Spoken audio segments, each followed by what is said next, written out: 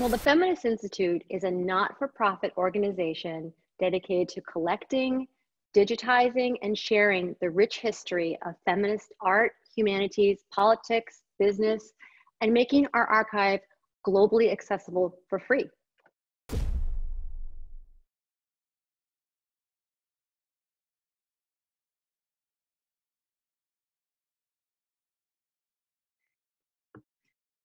I'm Ella Tieze, and I'm with my friend and teacher of all things, Gloria Steinem, and we're here today to talk about archiving and mm. how it factors into our lives. Um, and thank you, Gloria, for being here and talking with me about this. Thank you. I'm looking forward to it. Um, so I think, you know, when people think of archives, sometimes they it evokes an image of a dusty cabinet somewhere in mm. tucked away in a corner. But in reality, I think archives are really a a dynamic pursuit. And so I think, you know, that leads me to my first question, which is how can we understand archiving as a feminist act? If we consider how much we suffered from the politics of history, that is, women are 50% of the world, but not 50% of history.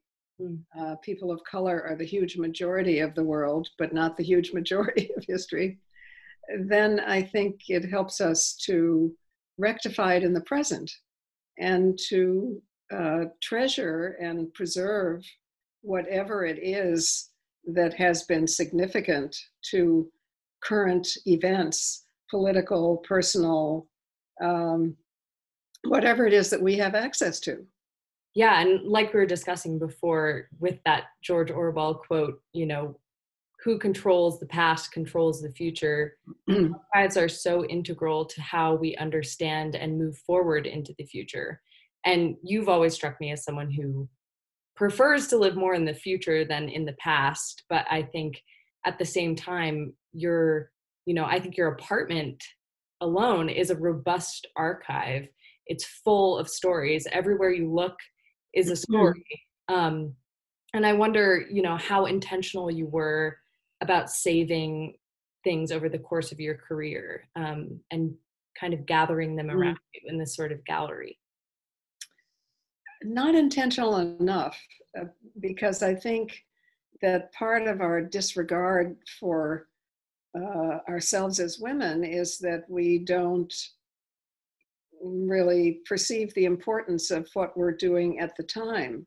Mm. So it's I'm really grateful to our colleague Amy Richards uh, and uh, many other people who have entered my apartment and said, "Oh, you know, you, you must save that. That's so interesting." You know, so we we need each other because I do think our lack of self regard turns up in our lack of regard for uh, the um, the things we touch and work with, and that really are important archives.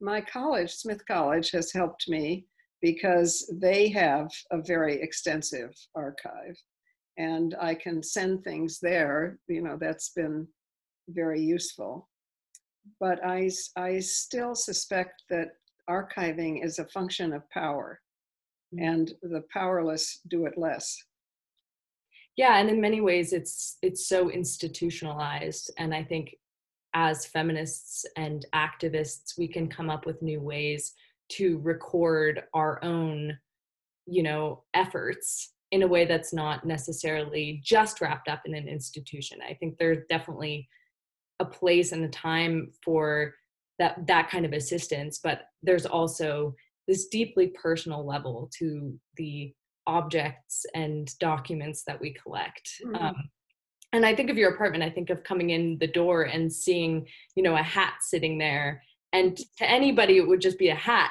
but it's bella abzug's hat and right. there's there's such a history there to what bella has done and how she changed the course of you know mm. women's rights in this country um, and knowing those things and having that personal connection i think is also such an important mm. um, and i wonder if there are any particular objects that you have in your house in your home as part of your archive. Well, since you, you mentioned uh, Bella Abzug's hat, on the wall just next to it and sort of, you know, as you first come in. you see a, a poem uh, written out by Alice Walker.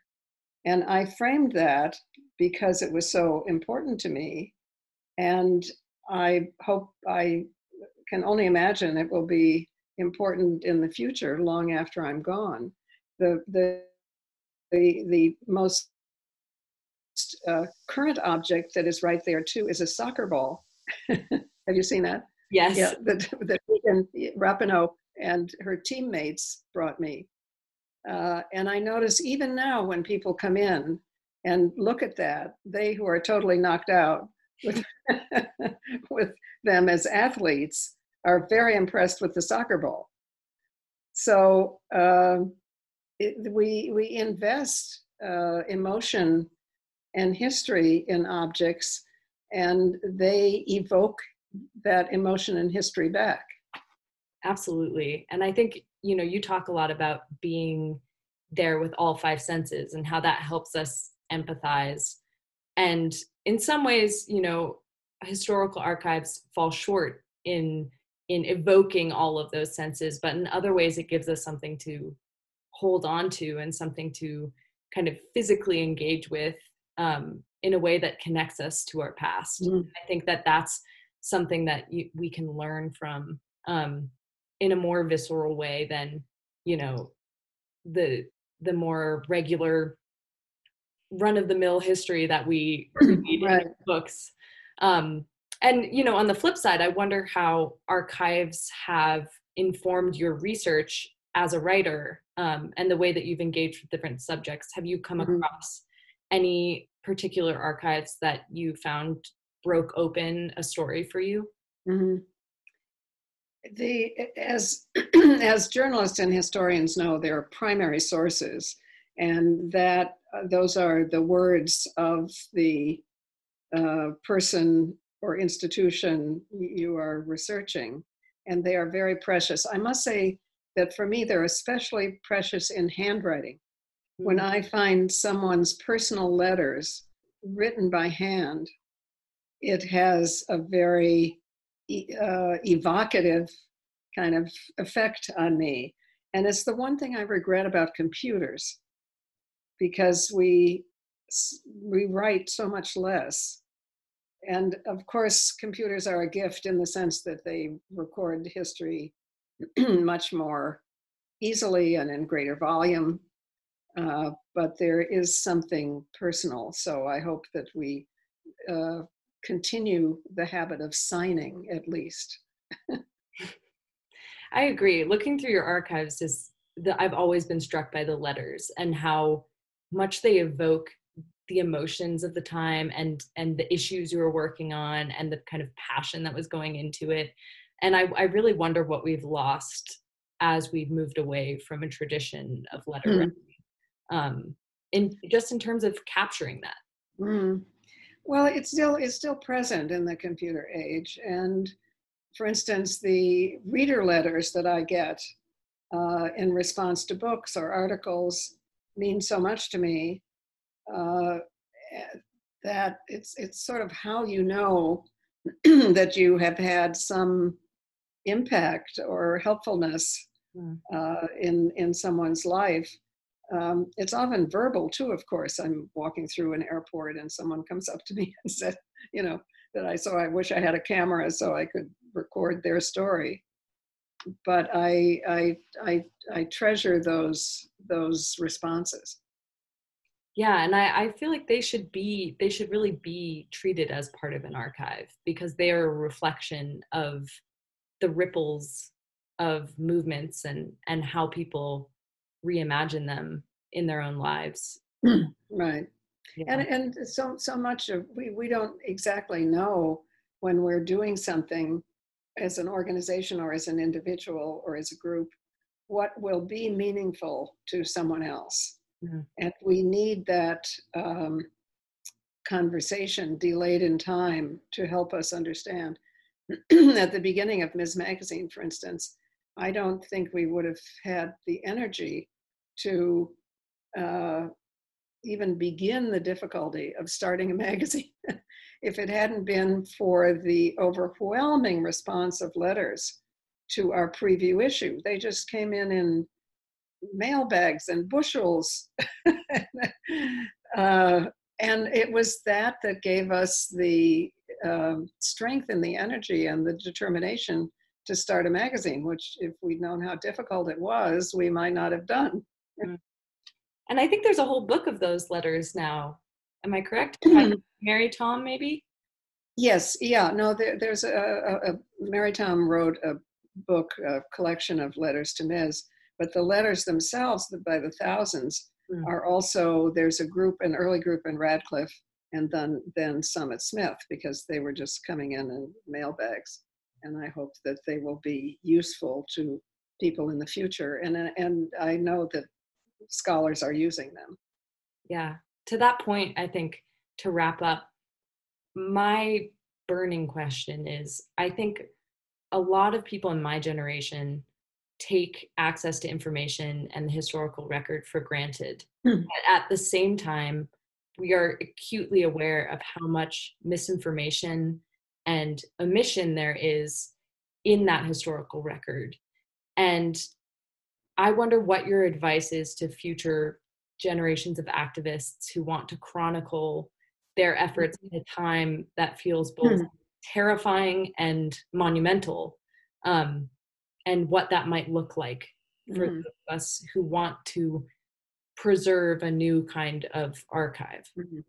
I guess the simplest way of saying it is look at the overall and if if your if our archive doesn't look like the country, if I mean, okay, we're doing a women's archive, but does it look like the women in the country? You know, who and how diverse we are, then we can kind of attempt to find a, a corrective.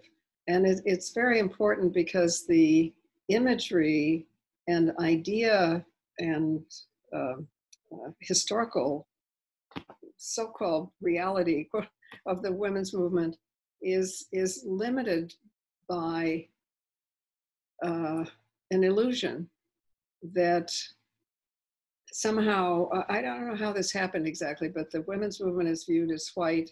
The civil rights movement is so it's white women.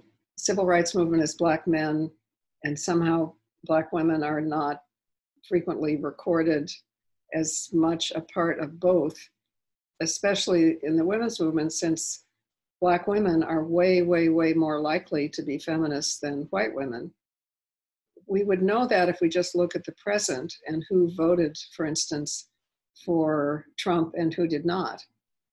Something like 96% of Black women voted for Hillary Clinton, and a majority of white women voted for Trump. All right, that was true in the past as well. So if we look at the, the politics of the present and see that they bear no relationship to the past, then we can, I think, begin to fill in the past and understand that perhaps we are not seeing the whole history. That's excellent. I think that's a great lesson to come away with and work for us all to do. So, um, thank you, Gloria. And thank you for bringing with you this amazing collection of items that we all get to visit and experience in different ways. Well, and I thank you for letting me know that they're interesting or valuable, which which I might not otherwise know. Thank you. Well, of course, my pleasure. And um, thank you also for working to fill in the blanks. Um, and I think that that's something that all of us can continue to do and um, do with fervor. So I appreciate it and thanks for taking the time. Thank you. Thank you.